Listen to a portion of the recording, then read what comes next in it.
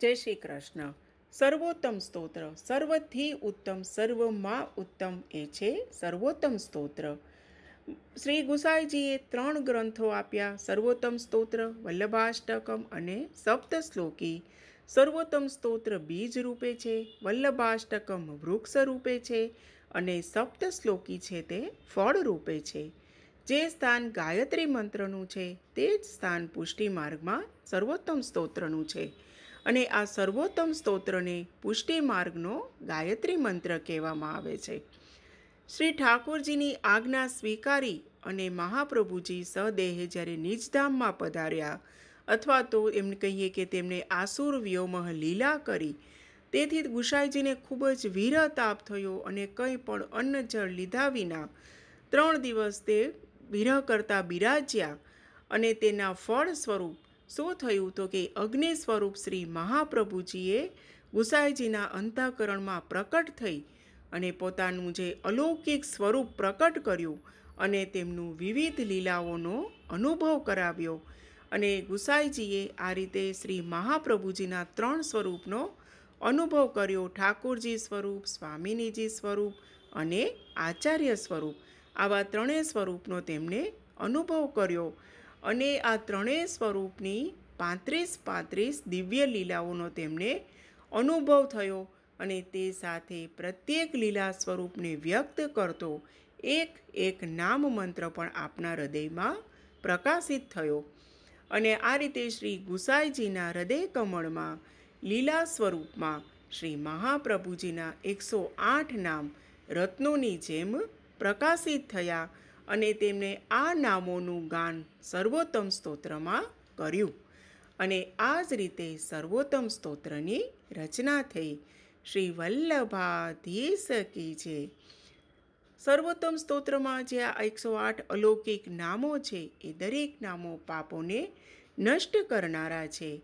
અને જે આપણા મહાપ્રભુજી છે, એ તો સાક્ષાત શ્રી પૂર્ણ પુરુષોત્તમ છે. ભગવાન શ્રી કૃષ્ણના મુખારવિંદ સ્વરૂપ છે. અને સકળ લીલા પરિકરને તે ખૂબ જ પ્રિય છે. માટે તો તે વલ્લભ કહેવાયા છે. સૌથી તે ઉત્તમ હોય, સર્વને પ્રિય હોય, એવા આ મહાપ્રભુજી છે એ સર્વોત્તમ છે. એટલે તેમનું જે ગાન કરતું જે સ્તોત્ર છે તે પણ સર્વોત્તમ છે અને તેમને, તેમના જે કરતા ગુસાઈજી છે તે પણ સર્વોત્તમ છે.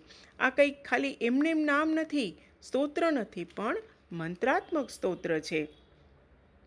આ જે એકસો આઠ નામો છે, તેમાં ત્રણ મેઇન નામ છે, મુખ્ય આનંદ પરમાનંદ અને શ્રી કૃષ્ણાશ્યમ. આનંદ છે શ્રી ઠાકોરજીનું સ્વરૂપ છે, પરમાનંદ છે શ્રી સ્વામિનીજીનું સ્વરૂપ છે અને કૃષ્ણાશ્યમ છે એ ઠાકોરજીના મુખારવિંદનું સ્વરૂપ છે.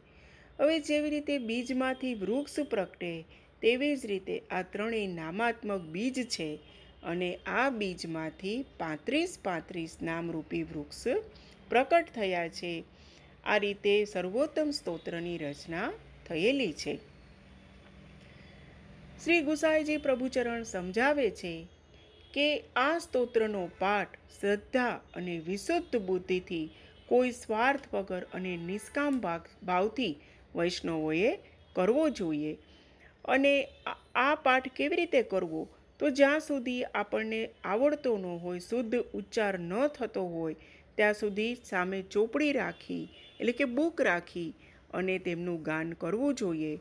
પરંતુ જ્યારે આપણને પાઠ કંઠસ્થ થઈ જાય, ત્યારે મોઢેથી ગાવાને બદલે જો મનમાં જ તેનું રટણ થયા કરે, હોઠ ફોફડ્યા વગર પણ તે અંદરથી જપ થયા કરે, તો તે જપ ઉત્તમ જપ છે. પ્રત્યેક જે નામ છે તેમના મહાપ્રભુ એમનું નામ છે તેમાં મહાપ્રભુજીની અલૌકિક લીલા, ગુણ, સામર્થ્ય વગેરે બિરાજે છે.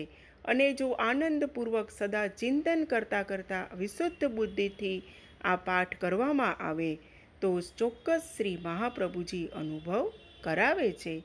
કેટલાક વૈષ્ણવો માત્ર એકસો આઠ નામનો પાઠ કરે છે, કેટલાક લોકો આખા પાંત્રીસ શ્લોકનો પાઠ કરે છે. બંને સર્વોત્તમ જ છે.